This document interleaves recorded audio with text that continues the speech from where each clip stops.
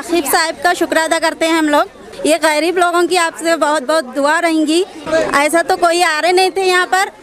ये बहुत बहुत शुक्र अदा करते हैं हम लोग। मैं सबसे पहले अल्लाह पाक का शुक्रगुजार हूँ। बारगाह बंदना सैयद आकिब बाबा हुसैनी साहब की जानिब से वार्ड नंबर पाँच, नरोना गली, हिंदू भाई और मुसलमान भाई दोनों को एक नज़र से देखते हुए गरीब लोग की मदद, राशन की किट से हेल्प की। तकरीबन एरिया में, ज़रूरतमंद एरिया में और गरीबों की कंटिन्यू मदद कर रहे हैं। यूथ फिट इंडिया का जो मिशन चल रहा है सर क्या इसकी वजूहत क्या है? इसकी वजूहत यही है कि जितने भी लॉकडाउन से लोग परेशान हैं जिसको मुश्किल हो रही है उनके घर तक उनको खाना पहुँचे। खाने के साथ साथ अभी हमने जो है ऑक्सीजन सिलेंडर्स का भी इंतज़ाम किया है और कॉन्सेंट्रेटर्स का इंतज़ाम किया फ्लो मीटर्स का इंतज़ाम करके गुलबर्गा के डीएचओ के भी हैंडओवर किया है।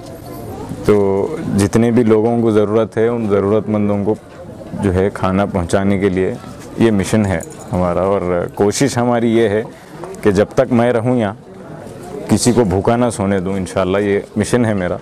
जिसके लिए बहुत से लोग साथ दे रहे हैं। यूथ फ़ीड इंडिया मैं अकेला नहीं हूँ, उसमें भी लोग हैं। जैसे खुतब ओसी साहब हैं और शाज हैं, शाज साहब हैं।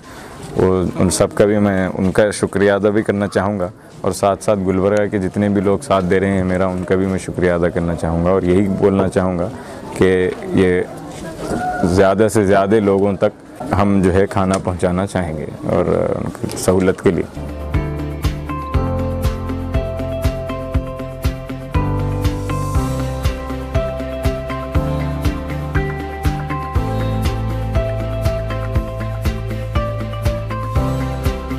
यूथ फिट इंडिया की जानब से और जो है सैयद शाह आकिब अल हुसैनी साहब के तरफ़ से, और यूथ फिट इंडिया के बानी प्रेसिडेंट जनाब शाज महमूद साहब, कुतुब अवैसी साहब का तह दिल से शुक्रगुजार हूँ और उनका ममनून व मशहूर हूँ कि इन्होंने शहर गुलबर्गा की आवाम की खिदमत के लिए इस पेंडेमिक में oxygen cylinders flow meter regulators P P E kits N ninety five mask और साथ में जो है ना सर्जिकल मास्क की तकसीम शहरियान गुलबर्गा के लिए भिजवाई है।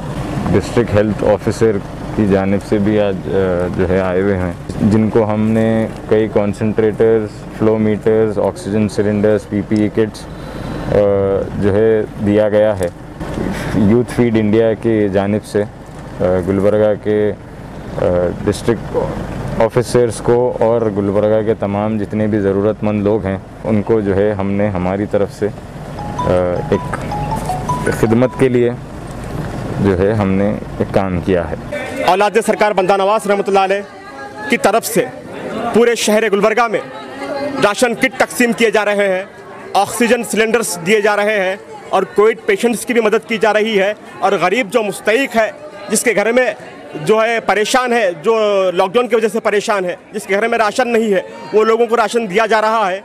मैं तमाम अहल यान मोहल्ला की तरफ़ से सैद आखिब हुसैनी साहब का मैं दिल की अमीर गहराइयों से शुक्रिया अदा करता हूँ। और मैं दुआ गो हूँ कि अल्लाह जो है आखिब हुसैनी साहब को जो है तरक्की अता तरक्की अता करे और दिनों दिनों मिलत की खिदमत करने की तोफ़ी अता करे। एरिए के गरीब, गुरबा और ज़रूरतमंद लोगों के लिए बंदा नवाज़ के चश्म चिराग डॉक्टर सैयद आखिब हुसैनी साहेब किबला हमारे यहाँ तशरीफ़ लाए हैं। वैसे तो वो पूरे शहर के, हर एक मोहल्ले मोहल्ले में वहाँ के ज़िम्मेदारों को पकड़कर, वहाँ के ज़रूरतमंद को नोट कराकर, वहाँ पर अपना राशन किट्स और ना सिर्फ़ राशन किट्स, जैसे कि गैस सिलेंडर है, मास्क है, पीपी किट है, बहुत सारे चीज़ें वो पहुँचा रहे हैं। आज नए मोहल्ले में सैयद आखिब हुसैनी साहब की तरफ़ से लोगों को फ़ूड किट बांटा जा रहा है और ये लॉकडाउन जब से कंटिन्यू आकिब साहब कंटिन्यू ये काम में लगे हुए हैं। हर तरीके से वो लोग हर एक की मदद कर रहे हैं और यहाँ नए मल्ले में भी डेढ़ से 200 किट आज बांटा जा रहा है। क्योंकि अब साहेब आकर बांट कर चले गए उन्होंने तकरीबन गुलबर्गे के जहाँ जहाँ भी गरीब लोग हैं, उनकी मदद कर रहे हैं हर तरीके से। जैसा कि ऑक्सीजन रहते मास्क रहते जो भी हो सकता है उनसे। और ये राशन किट तो तकरीबन साहेब के ग्राउंड से हमेशा बांटे जाता है।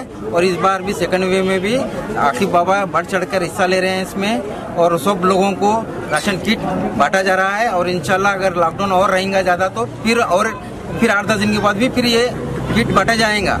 यहाँ पर रेशन किट डिस्ट्रीब्यूट किया जा रहा है। उनकी तरफ़ से हम मोहल्ले की तरफ़ से उनका शुक्र अदा करते हैं। अच्छा आप लोगों को यहाँ पे जो राशन देने अभी तक कोई एरिया में आए थे क्या? कोई नहीं आया यहाँ पे देने के लिए। अखी बाबा साहेब उनके तरफ़ से मिला है हम लोगों को। आपका बहुत बहुत शुक्रिया जो आप लोग हमारी मदद कर रहे हैं आपका बहुत बहुत शुक्रिया। और गुलबर्गे में ऑक्सीजन की भी हेल्प कर रहे हैं और पीपी किट्स की भी और मास्क वगैरह भी बांट रहे हैं और तकरीबन गरीबों की। इसी तरह कंटिन्यू हेल्प कर रहे हैं। हम सब अल्लाह से दुआ करते हैं। अल्लाह ताला आपके वालिद साहब को जन्नत फिरदोस नसीब अता फरमाए और जन्नत फिरदोस में आला से आला मुकाम अता फरमाए और आपको भी अल्लाह ताला सेहत और तंदुरुस्ती अता फरमाए और हम सब की दुआओं को अल्लाह पाक कबूल करें। आमीन सुम आमीन। तमाम मरहूम को अल्लाह ताला जन्नत फिरदोस नसीब अता फरमाए और हम सब की दुआओं को अल्लाह पाक कबूल करें। आमीन सुम आमीन। अल्लाह खैर। यहाँ पर जो है बहुत लोग परेशान थे। हम आकिब बाबा से ज़िक्र करें तो उस बारे में। तो आकिब बाबा खुद बोले कि कौन कितने जने हैं यहाँ पे? हम लोग बोले कि सत्तर से अस्सी जने जो है यहाँ पे बहुत परेशान है। गरीब लोग हैं, बेवा है, ये लोग परेशान थे यहाँ पर। तो जैसे हम लोग जो है ना, आकिब बाबा को सुने तो आकिब बाबा ने हमारे फैसले को, जो भी हमारे परेशानियों को सुनते हुए वो आके देखे। ये न्यू रहमत नगर मस्जिद मिराज के करीब आता है। अदरा पूरा लोग बांट रहे हैं। यहाँ पर बहुत परेशान थे लोग। तो इस वजह से हम लोग आकिब बाबा को सुनाए। हमारे छोटे भाई साहब जो अकरम बुल के हैं उन्होंने आकिब बाबा के पास जाके बात किए। उस वजह से जो है हमारे को जो आकिब बाबा आके यहाँ पे किताब बांटे। बहुत बहुत शुक्रिया आकिब बाबा का।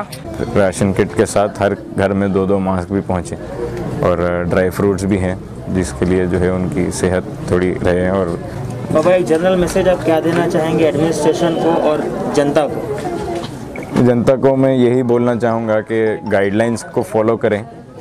हम तो खैर खाने के तकसीम की जा रही थी, इसीलिए जो है हमने हम, मैं खुद बाहर निकला हूँ, क्योंकि खाना तकसीम करना था, जितने लोगों को खाना पहुँचाना है उनको पहुँचाने के लिए मैं निकला हूँ। और जितना हो सके एहतियात रखें, एहतियात करें चीज़ों पे।